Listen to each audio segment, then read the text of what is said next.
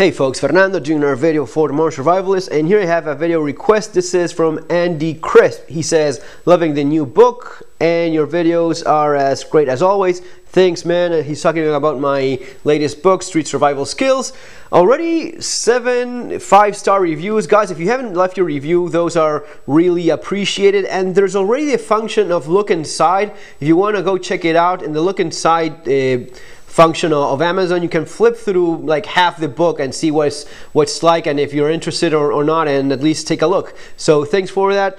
Uh, what else? Can I make a couple recommendations for future videos? Absolutely, you most definitely can. That's kind of the idea. Number one, an update EDC bag video. I love your EDC vids, but haven't seen what your bag setup is for a while. Okay, we're to be getting into that in a second. I'll go through the pocket EDC stuff that I usually go through a little more in terms of basic philosophy on that. And then this video is to be a tad longer and we'll go through some of the bag stuff that you're asking about, some of the content in there and what that is all about. Number two, a quick video covering the apps you use on your phone for news, weather, and general preparedness etc. Sure, well the last part is kind of quick because in my phone I really don't have a whole lot. It's a, this is an LG G6 running Android. I don't even know what version of Android it is. And I use the stuff that is in here like Google Maps, that sort of things as to find my, my, my way around if I'm in a new place I'm not so familiar with, which may be the case if I'm uh, using anything in terms of internet. I have Firefox installed, which I like better than other navigators. What else? Uh, this phone is um, FM radio capable by using the, the, um, the, headphones which uses it as an antenna but all of that was included in the phone. Uh, that's a nice feature because if there's no internet, if there's no nothing, you can just use your headphones and use this phone as a traditional FM radio without any anything else. No internet, no, no phone signal, no nothing. Uh, finally, maybe the only thing that's kind of more unusual is um, the, the Coinbase app for Bitcoin that's something that I'm, I've been using for quite some time just to check out the price and such. Uh, I have a traditional uh, weather app like I suppose everyone else. The thing that I often use the most, to be honest, in terms of weather is my watch. And this is the reason why I like this part of my EDC so much. And this is a, a Casio Pro Trek that I've had with me for several years now. It's solar, so I never got hooked up on all these um, uh, smart watches, all that crap. I, I just I just cannot convince myself of charging my watch every couple of days or every week when I'm already used to something that is solar and I don't have to charge it for uh, you know ever. It's been like this for years without any me without me doing anything. And whenever I'm wondering about the weather, and I found it to be far more reliable to looking into anything that my, my phone has is looking at the barometric pressure chart there. For example, my app in my phone was telling me today that it was going to be a stormy uh, day, thunderstorms, clouds. My phone was telling me the opposite. My phone was telling my phone, my watch was telling me that the barometric pressure was going up steadily for the last few hours, and that means you were going to be having nice weather. And indeed, that was the case. So I trust, over the years, I've learned to trust my watch rather than my phone. That's one of the things I mean in, in, terms of sticking to a setup that works for you. That's why you always see basically the same stuff. The, the watch is the same because the watch has been, has been very good for me. I don't know if I got that right there. Yeah. So you see that little ch chart there?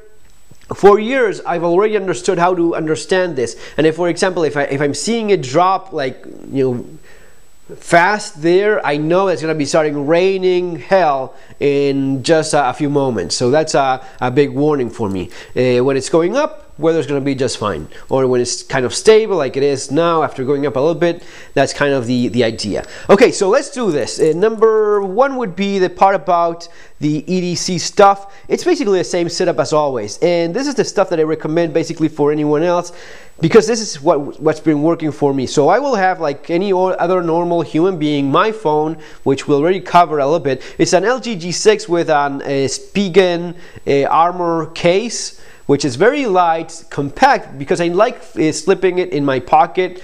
Uh, I used to have a bigger note, and I kind of got bored of the idea of having something so big. This is all screen and it's been for a while. So, you know, this is something that I'm already used to.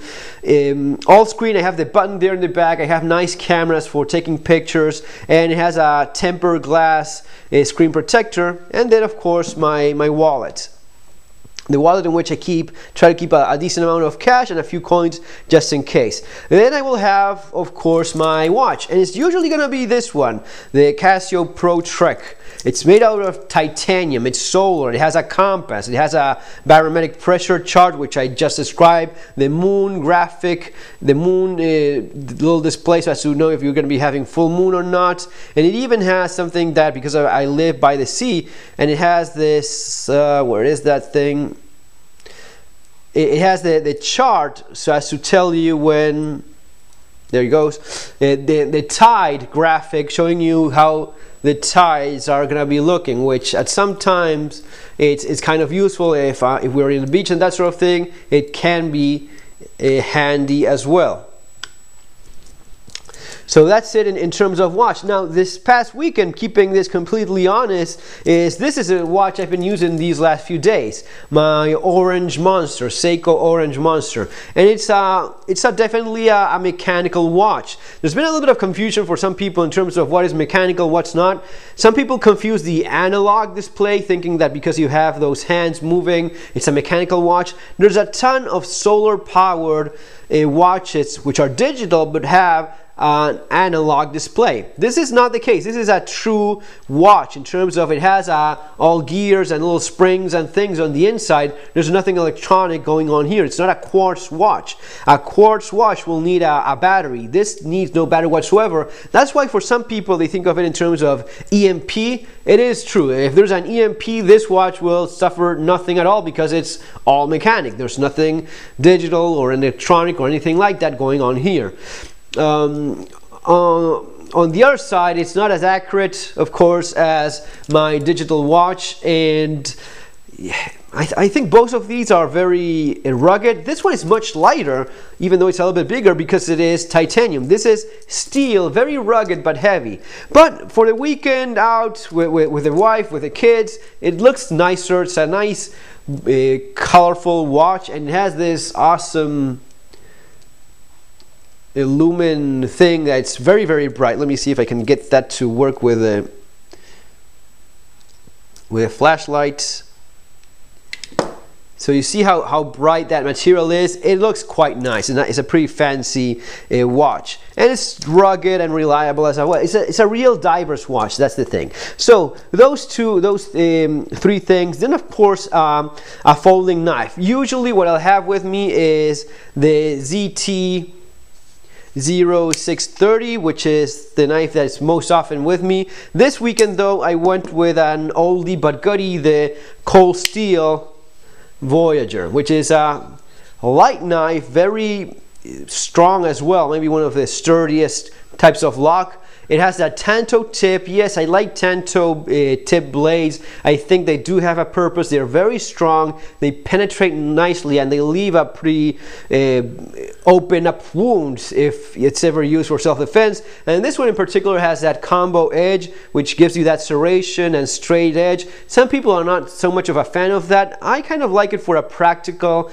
um, for a practical use blade because it gives you that option of chewing through some harder materials if you ever have to and you still have the straight uh, part of the blade for typical cutting. It's a knife that's been with me for, for many years and I'm not using it a whole lot but whenever I needed, it, it was always there and got the job done. So I, I, I know it's, um, it's a good way to go. This time it went with me for this weekend. In terms of multi-tool, mm, the one that's been with me all this time, the Leatherman Charge TTI, which is the one that I would not do without by any means because it has a fantastic blade that if I need a knife, if I don't have the knife, I have the blade here. This is usually most most of the time, it's good enough for whatever a pocket knife task you need. Yes, it's S30V, which is a good steel. I've been resharpening it quite a bit. It holds an edge for a longer period of time than uh, more more common steels. It's just a fantastic multi-tool. In my opinion, the best the best uh, multi-tool money buys these days.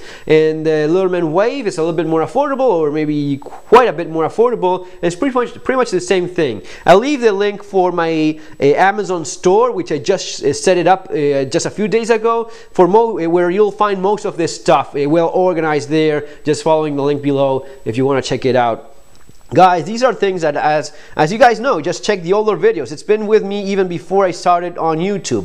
Again, changes here and there, upgrades whenever it was um, you know, sound to do so, but always kind of the same setup. Having uh, um, a pocket knife, having a multi-tool, having a flashlight, having a, a, lighter. And for many years now, it's been this one. Sometimes I go with something else. This is my uh, Zippo with a gas insert made by Thunderbird, which I'll leave the link as well there if you follow it to the store you'll find it there in the um, I'll make you know what a specific EDC um, menu for all this stuff so it's easier to find.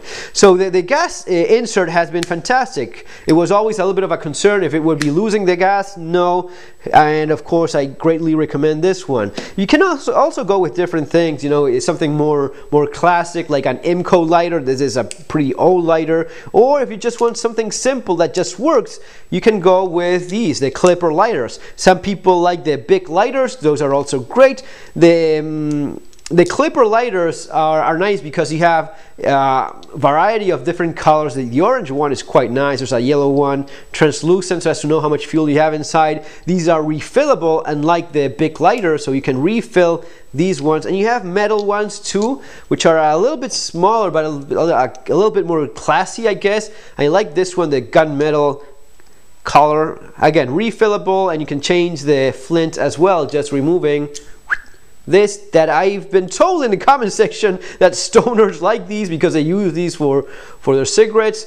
And yeah definitely not, not my thing but uh, I understand that's something that people like. I like the fact that it's just refillable. That that's what does it for me what else in terms of um, flashlights. Just any good flashlight that you know it's it's quality. As you see, I have a lot of titanium in my EDC, and the reason for that is that unlike aluminum, which kind of gets dinged up and scratched all over in in a, in a quite short period of time, to be honest, because I've had in my EDC different um, aluminum uh, flashlights, black ones or whatever color it is, it always starts scratching up. Titanium is not like that. Titanium just holds on much nicer. This is a Klarus uh, M17T. It's just a very flash, a very bright flashlight which has uh, a bunch of different modes even have the, the moonlight mode, which I find it quite useful and I like having that in my flashlight. And a little a pro tip, if you want to call it that way, I guess, is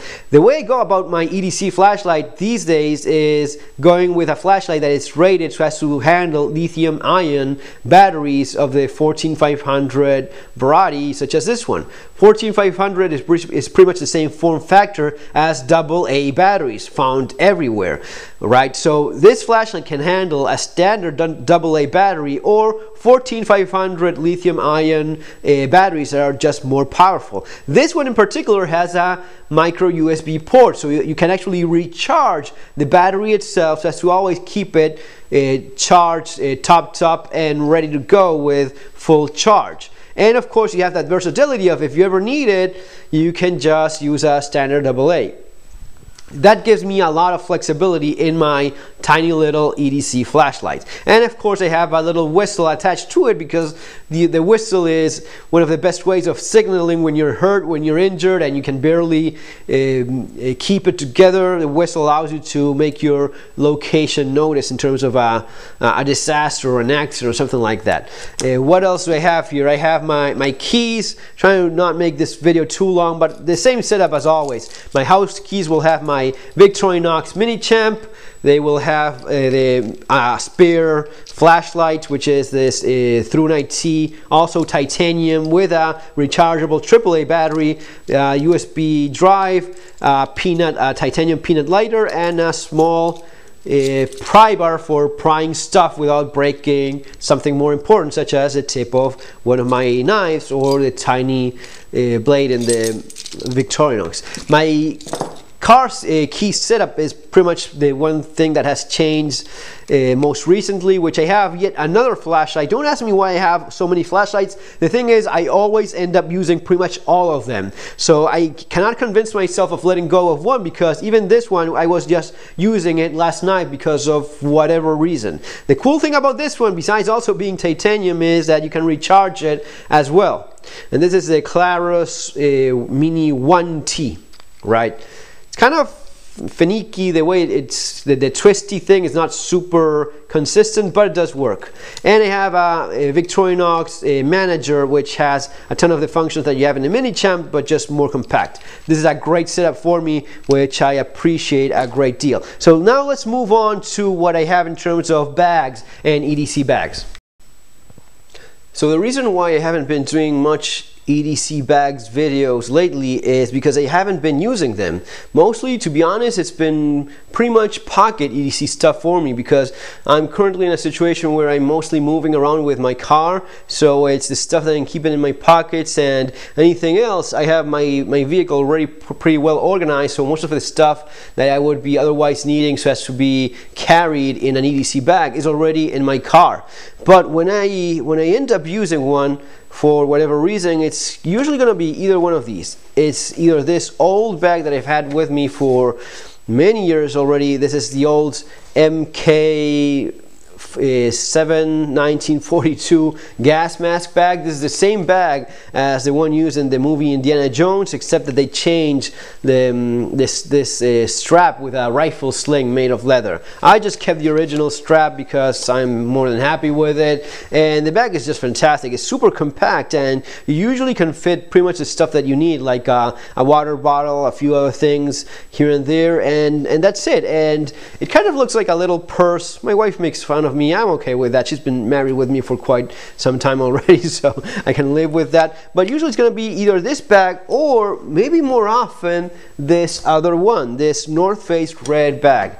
And the reason for that is it's bigger, I have more room, it's sturdier. That one is a little bit more fragile and I'm kind of sentimentally attached to it already. So this is the one that I use whenever I need anything that's a little bit more, needs to be a little bit more rugged. But let's see what I have inside forgotten here in this one. And that's an indication of the stuff that I usually will have in my EDC bag.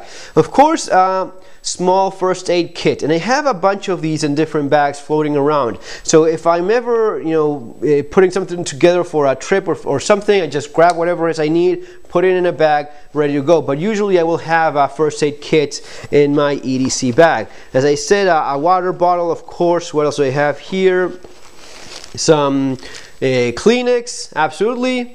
Uh, lighter, as you saw, you have already my EDC lighters, but a spare one is not a bad idea, especially this one wrapped with orange duct tape makes for a nice little uh, solution. In this bag, I don't remember having much of anything, but let's check out nonetheless. No, it's pretty clean on the inside.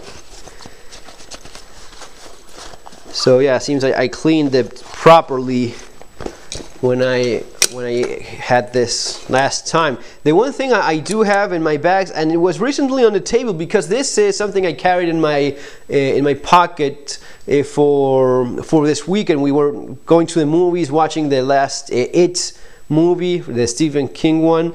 And I took with me a, a, little bit of hand sanitizer because the kids are eating popcorn. And before eating something with your dirty hands, a little bit of alcohol makes, uh, of hand sanitizer makes a lot of sense. So for that moment, it was part of my pocket EDC in my uh, 511 uh, pants, which have all those big pockets that allow you to put a, a bunch of crap in there that sometimes you don't need, but every once in a while, it's nice to have that extra space. The one thing I will usually have, especially if I'm going anything that it's gonna be more outdoors type of oriented. It's especially you know especially hiking that sort of thing. I will have a fixed blade. Um, yes, that is definitely something that I will always have with me whenever I'm um, doing anything that's you know hiking, any little day hike. Doesn't matter. Just having a, a, fixed blade just makes perfect sense for me. Usually it's to be this one. This is the Busse what is it? Boss jack the name is it? I'm not so sure it's a little bit big, it's a little bit heavy. For some people, for me, it's kind of like the smallest blade I will go for. Yes, I know that kind of pisses people off, but I I'm just at this point I'm, I'm not so much of a fan of small tiny knives i guess that folks that are a little bit more bushcrafty they end up favoring that sort of thing something very tiny. But whenever i need something something tiny i have my my folding knife. I don't need a, a tiny fixed blade. If i have a fixed blade i want a, a decent one. Uh, same here. This is a Psycho dog soldier i think it is. Uh, dog soldier 6 probably. Um, the last I, the one I took to my last hike was a Glock knife. No, no, no, no. It was this one. Yeah, the the Glock knife is fantastic because it's very light, so it's definitely going to be making its way to my bags more often lately um, uh, for in the future. But the one I took in my last hike, to be completely honest, is this one, which is the Dog Soldier 8 which is a very decent knife. It's not, I mean, guys, it's not very, not very heavy. I, I get it that some guys like very tiny, bushcrafty, feeling like a freaking elf kind of knife. I, I don't fall for that. I like, I like something that does that uh, pry bar digging, scrapping, beating the crap out of stuff, fighting and chopping wood and doing anything that I need. Yes, and if I need something smaller, more detailed, I can just choke on the blade. Yes, I don't need. I, I would have rather done without even this choke uh, choil thing. No, I can just grab the blade from here and just use it if I need something well, for that kind of detail, I can just grab the blade itself, no big deal. But this is a pretty neat setup. This is probably my best survival knife, so to speak. So yes, it's usually when I'm using it uh, when I need one in my in my bag. And then I will have usually my a notebook. I'll grab one of the ones I have floating around, which is kind of disorganized at the moment. But yes, so as to take notes, especially if I'm doing a, a, a trip going somewhere, I like to have a, a notebook with me.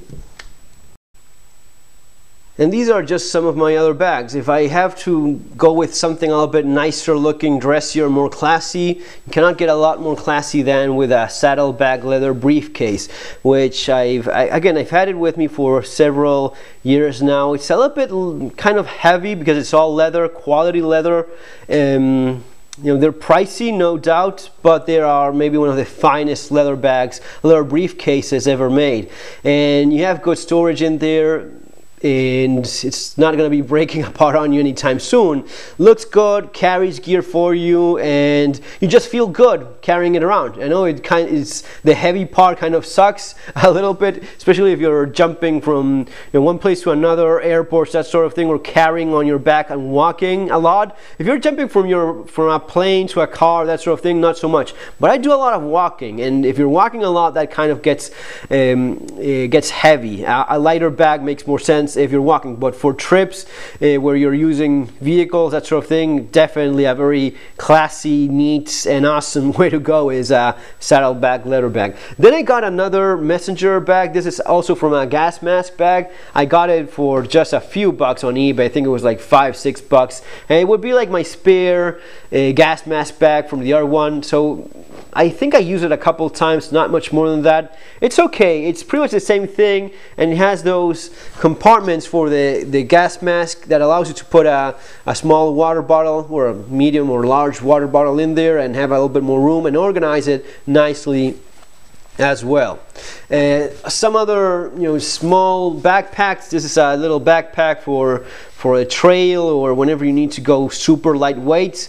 Can't do a, lo a lot more lightweight than this. Very compact. This is my old high school bag. So this one is over 20 years old, and yeah, it's it's still you know doing its thing. It's still working. I've replaced the zipper once from the pocket, but that's it. It's still a very a handy backpack no complaints whatsoever.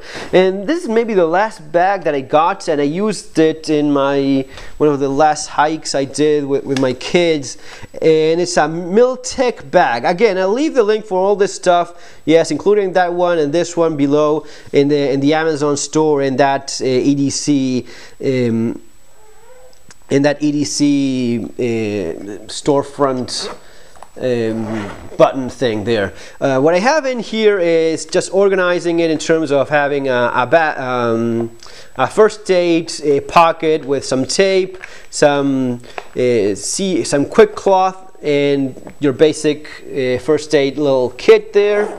Then I have this just as I I short last time after using it I, I, took some of the stuff out but basically still in there most of it. A flashlight whenever going out for a hike even if it's a day hike that's something that I've learned years ago. Uh, a day hike if something goes wrong or you get lost or it can easily turn into a night thing. So having a, at least a couple good flashlights that's something you want to go with no doubt. There's a ThruNite TN12 great flashlights by, by ThruNite some a paracord and hand sanitizer for when having lunch. Some Kevlar cord in there and that's it for this pocket.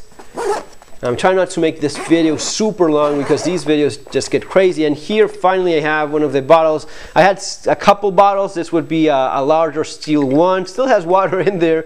So yeah this is something you definitely would be taking in an a, not only a hiking bag for me an EDC bag. You need to have a bottle of water because you're gonna be drinking it. And it's kind of an important part. Some uh, hand uh, wipes for cleaning your hands face. I have even the aluminum foil wrap from the sandwich and cookies we took to the trip. That was a good day. And whatever it is that I have in here, not not so much more. I mean, I like going light. I have a survival kit in here, which has a bunch of other stuff. You know, a, a larger survival kit with a, a respirator and you know a small survival tin kit in there. Uh, rain ponchos, tarps, that sort of thing you know, the, the, kind of thing you would do, you would end up using if something goes wrong in that trip and you have to stay there overnight or, you know, just a, a survival kit, which makes a lot of sense. And some binoculars, these are Tasco, which are okay and I took them specifically for this trip. Guys, that's all. I mean, that's it. I'm not carrying much of a bag lately, but that's kind of the content I usually go for. Maybe I'll do another uh, dedicated EDC bag content with, with some of the stuff I, I will usually have, but it's somewhat around these um, these parameters, not a lot more. You, I will have a, a hat with me, a, a Glock hat, my sunglasses, which at the moment are in my in my car. And that's it, guys. Take care. Have an awesome day. See you on our next video.